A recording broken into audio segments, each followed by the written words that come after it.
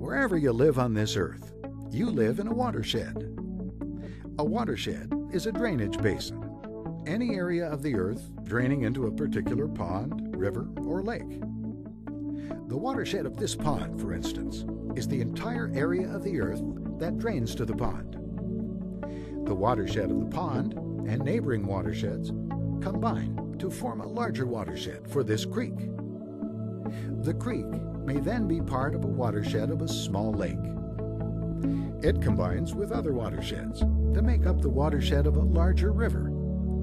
That larger river feeds into an even larger river that has an even larger system of subwatersheds. And finally, the ever expanding system of watersheds becomes one huge watershed that empties into the ocean. But why should you care?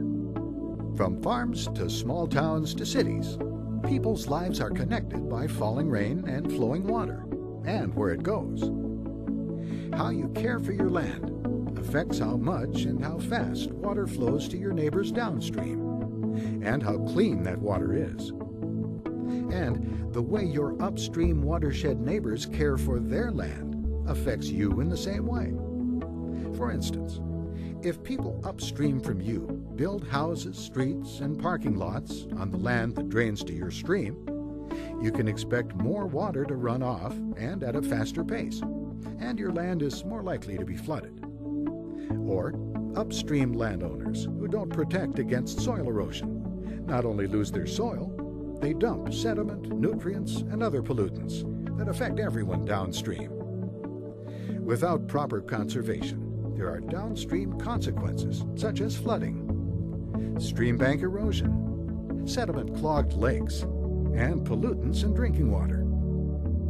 But those problems can be minimized if each of us does our part to hold the rain in place where it falls.